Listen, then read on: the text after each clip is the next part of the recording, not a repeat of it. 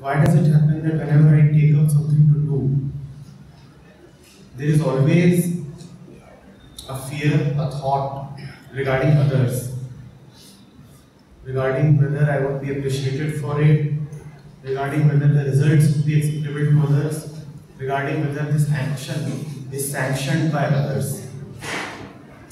How many of you face this dilemma?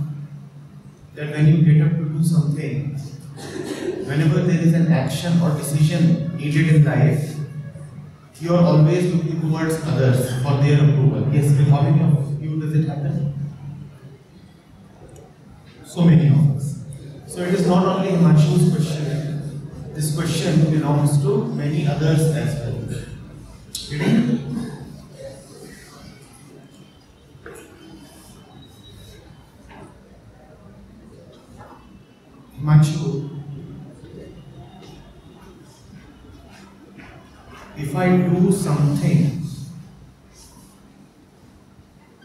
Purely for myself, then obviously I would not need to look at others. If I do something purely for myself, then obviously I will not need to look at others. But do we ever do anything purely for ourselves? If you are fundamentally acting, doing, thinking because of others and for others, then it is inevitable that others will become a dominating force in your life. That is bound to happen. Are you getting it? Let's take an example.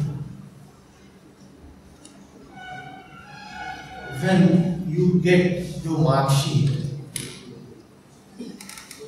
usually the dominant fear is not that your marks would be less.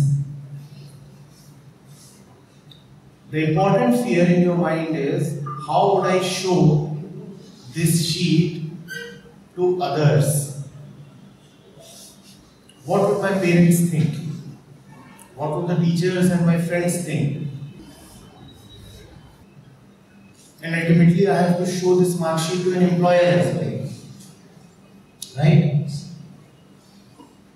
So, even a basic thing, a fundamental thing like studying, like learning, like gaining knowledge, is not actually being done by you for yourself. It is being done for somebody else's sake.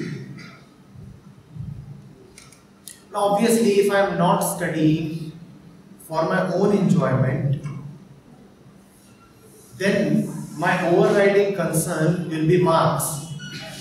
I would always be worried as to how many marks I am going to get. Are you getting it? Hmm? And those marks will not be important to me as such. Those marks will be important so that I can show them to others. Are you getting it? Consider very basic things in life. You sit at home and you are in one kind of dress, and it's a comfortable dress. Let's say a general t shirt and a pair of jeans. Now, the moment you have to go out, you want to change your dress, you want to change your attire. There can be two reasons for trying to change your dress. The first reason could be that it is hot outside, so I need to change my dress, or that it is windy or cold outside, so I need to take a coat or a muffler. That could be one reason. But do we change clothes purely because of weather conditions? Have you ever wondered why you must change clothes when you go outside or when you go to a party? Is it purely because of your own comfort and the weather factor? It is much more so because you want to show something to others. Others have penetrated so deep in our life that they dictate even very basic things like motives of life, motives of study, motive of working, even the motive of wearing clothes. Is it not a great degree of dependency that even clothes are being worn, keeping in mind what the others will think of me? Yes, Himanshu, isn't that a great dependency? See how others are present in everything we do from morning till evening. You come to the college, most of us, on most of the days, we come to the college not because we find enjoyment in study, we come because some other factor, some other person is pushing us. Because there is an attendance requirement stipulated by some other person. And if that other person relaxes the requirement, then you will be contented not to come to the college. You will be happy enough. So even the very basic thing like going to an educational institution is happening because of an other, because of the domination and presence of somebody else. Are you getting it? Then look at the way you study. The day the examination date sheet comes, that is the day you want to go to your books. Now, are you going to your books because you love being with the book, because you love studying, or because you are under the pressure of that other who has put up the date sheet? Now the date sheet has come and then you didn't make the date sheet, right? Did you make that date sheet? No. Somebody else makes that date sheet and shows it to you and now you start studying.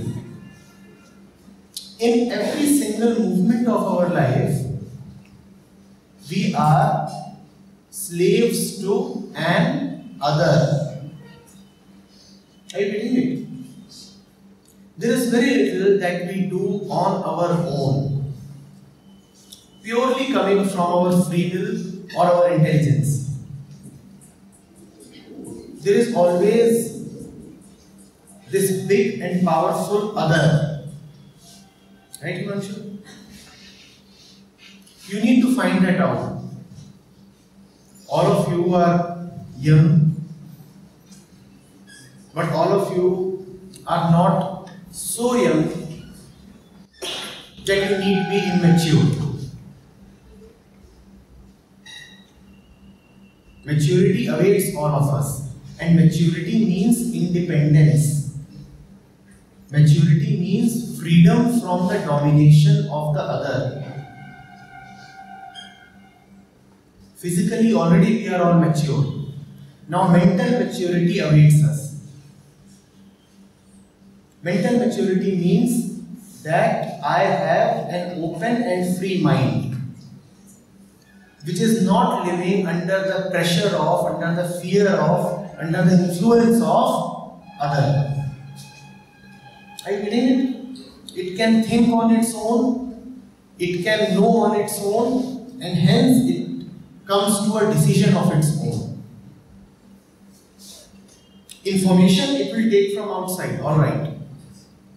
But it will not take a decision from outside. It will take inputs from outside, but understanding would be its own. That is what is meant by being young. That is what is meant by being mature. Yes?